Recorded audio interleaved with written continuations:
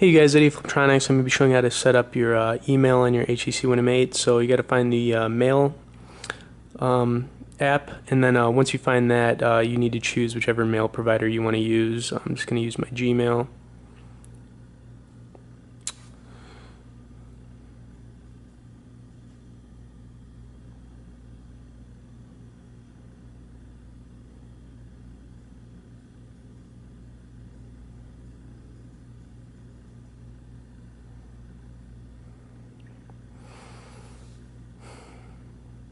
Then you can give your uh, your uh, email on here a name.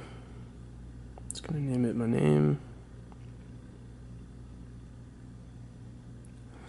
It's gonna take a, a minute for it to uh, you know update with any uh, current email you have. Once it does that, you can uh, mess around with the options here.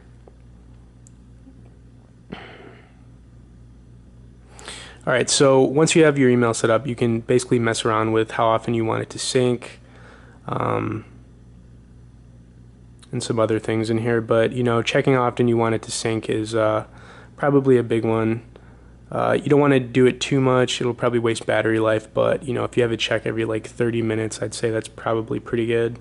Anyways, guys, um, hope that helped you out. Uh, pretty simple. As always, thanks for watching this video on the HTC One M8. Stay tuned for more and be sure to subscribe to our channel.